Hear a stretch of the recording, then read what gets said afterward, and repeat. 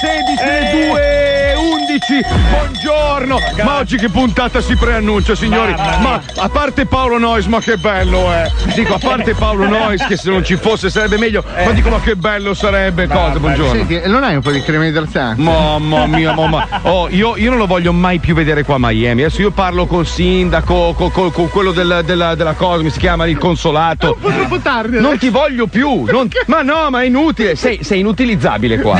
Sei una troia, sei una troia, la tipica puttanella da prima pagina dei gossipari. Ma io ho la pelle secca. Madonna, ma questo invece di lavorare, di star qua a costruirsi un futuro, è tutto il giorno in spiaggia con due ricchioni. Pensa Ma no, che no. stronzo che No, sono. ma hai capito perché io e Paolo siamo diventati amici? Cioè, c'è sì. qualcosa sotto, cazzo, c'era! Cioè, allora, quindi io sto portando la ghegheria in America mentre lui porta il fancazzismo, No, capito? io ho i Noisers. La, ghe- la ghegheria ce lo può sucare. Ma vai a fare in culo, maestro, maestro, Ma è una maestro, vergogna, è maestro. una vergogna. È una vergogna, maestro. È una Dovremmo iniziare io e lei a veramente a fare una riunione di quelle serie. Sì. Dovremmo fare il gag, il gag 2 perché Esatto. siamo rimasti in due.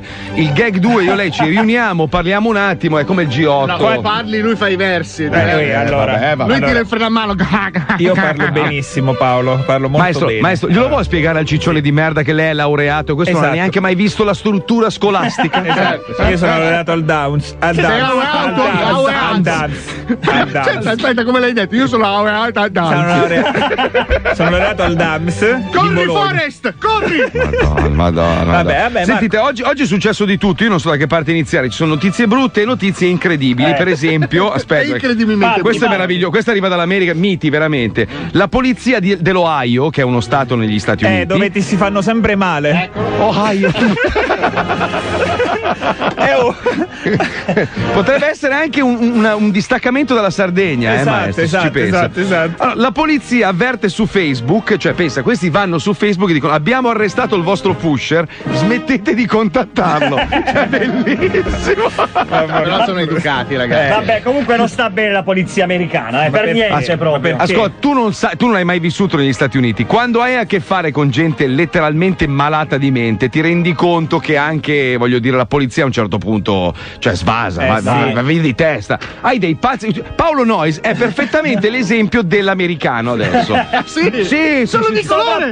Sovrappeso, no, Sono di colore! sovrappeso. Sovrappeso di colore, vuncione, sporca la spiaggia. Io sporco la spiaggia! Poi c'ha quella povera santa donna di sua moglie che lo segue e pulisce tutta la merdina che lascia in giro. Scorreggia, rutta per strada. È una roba vergognosa. Mamma mia. Ma che cazzo c'è la microspia? Ascolta, eravamo seduti di là prima a parlare senti.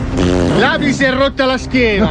No, era rotto il culo. No, là mi si... ah, perché a me si rompe la schiena regolarmente, non sei una persona gentile nei miei confronti. Tu dovresti fornirmi un massaggiatore. Comunque, molta gente spesso e volentieri dice: Madonna mia, ma la polizia americana quanto è cattiva, quanto è crudele. Ma perché voi non avete idea di quanto siano stronzi gli americani in generale? Poi l'America è basata su. Non esistono gli americani, sono No. tutti delinquenti che arrivano da tutte le parti del mondo e decidono di vivere nello stesso Soprattutto posto. Miami, diciamo. Soprattutto Miami, che tra l'altro negli anni passati è stata popolata da spacciatori, da drogati, robe varie. Quindi devi capire che la polizia in qualche modo va fuori di testa dopo un po'. Ma è un po' aggressiva la polizia. Eh, Leggerissimamente. fa bene, fa bene. Infatti. Cari ascoltatori, se dovesse mai capitarvi di venire qua a Miami, vi ferma un poliziotto mentre affittate la macchina, fate come ho fatto io. Io ho fatto proprio voce grossa col maestro. Sì, sì. Eravamo in macchina io e lui. Ci ferma un poliziotto che andavo un pochino forte. 5 all'ora più di, di più. Sì, ci- 5 miglia all'ora in Sì, più. sì. Scende questo, maglietta a maniche corte.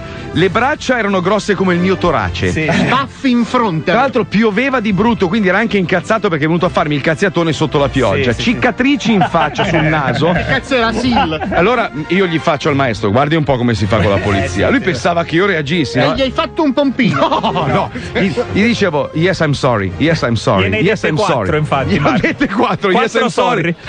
Poi mi ha detto vai a fare in culo, italiano di merda e ci ha lasciato andare. Ma era bianco o nero il poliziotto? Tutte Era e due. bianchissimo. Tutte e due. Tutte e due. È incredibile. Se Era dietro di colore e davanti in bianco, incredibile. Un Ringo Boys. Però signore, ad indagare sulle cose brutte che accadono nel mondo ci sono dei programmi televisivi anche in Italia che spaccano di brutto dove il conduttore è talmente dislessico che si inventa delle parole. Stiamo per collegarci signori con Squarto Gra.